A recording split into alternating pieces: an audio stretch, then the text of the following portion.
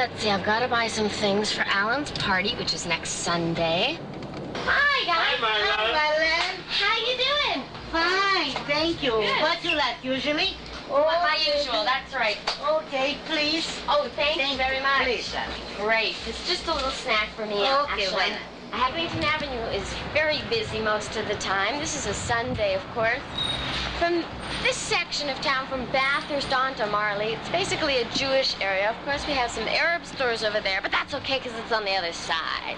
This is Weisner's Homemade Foods Coffee Shop. It is run by a man who's very interesting. How shall I say? Crazy. I'll show you. These prices are valid. You see, he talks with an accent and he writes with the accent as well. Only Tuesday through Wednesday through Thursday, thank you. There are two prices of lists here. Visitor customer price list and steady customer price list. What constitutes a steady customer? There's a sign over here. If a person comes three times or more, he's a regular customer. So, so what do I constitute? A regular customer or a new I customer? could come more often. I didn't see you yet. Yes. You're right. I've, I've only been here like twice, Yeah, so I need a third time. But I walk by here all the time. If I buy something right now, I'll become a regular This customer. will be the first time. We've been the others two times more. I was here two times before during But the you year. didn't buy. Yes, I did. I did buy.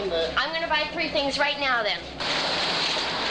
That's Weisner's Bakery, and he's crazy. This is Jimmy, and he's a waiter at the China House. The China House is one of the most popular Chinese restaurants in this neighborhood.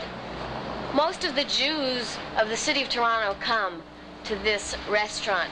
Aren't a lot of your clients are Jewish? Am I right? Uh, I would say 75%. 75 percent. Yeah. Do you find that sometimes on Jewish holidays the Jews even still come to the restaurant? No, I don't think so. Oh, yeah. what about Yom Kippur? Oh, Yom Kippur is very quiet too. Very good. He knows his Judaism. Well, that's good to know. What about Passover? That's Oh, the thing. Passover, everybody stays home.